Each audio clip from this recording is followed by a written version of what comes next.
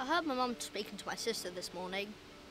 Apparently she's bleeding this week and all she wants is chocolate. Only girls get it and they bleed and bleed for a whole week.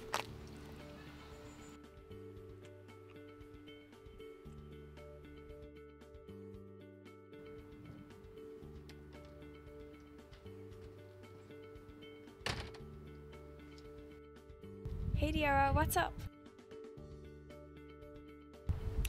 I'm gutted. You know Theo's party on Friday? Yeah, I bought that white dress for it, but my period is due and I don't want anyone knowing.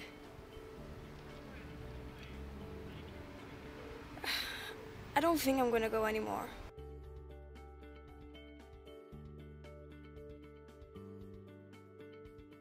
How are you feeling about tonight? So annoyed. I got my period and I don't want it to be a problem. Why would it be a problem? He knows it's what a period is. Well, I know, it's just I really like him, so I don't want it to like put him off. So I was thinking dinner and drinks after work tonight. Yeah, that sounds good. I'll book a table at that new place. Okay, cool. Can't wait. Do you want a cup of tea? Oh yeah, I'd love one.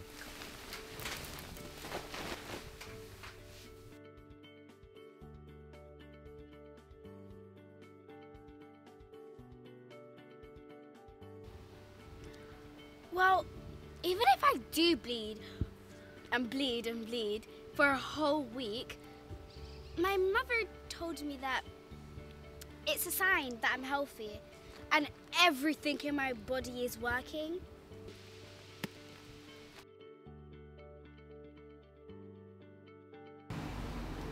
Yeah, it's not fair. Like, why don't guys have to deal with it?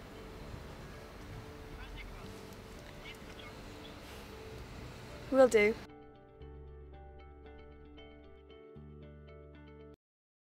I mean, like, if something like your period is gonna come in between you two, he is not the one. That's true. It's just his mum's kind of like she had him quite late, so I feel like she probably doesn't get periods anymore. He might not be as used to it. Yeah, but he's definitely been exposed to other girls. Mm, that's true. Make sure you call and tell me everything when you're back. Obviously. I guess you're not pregnant. I mean, I was starting to get a little worried. Should I put it in the wash? Yeah, Yeah. same as last month. Same as last one.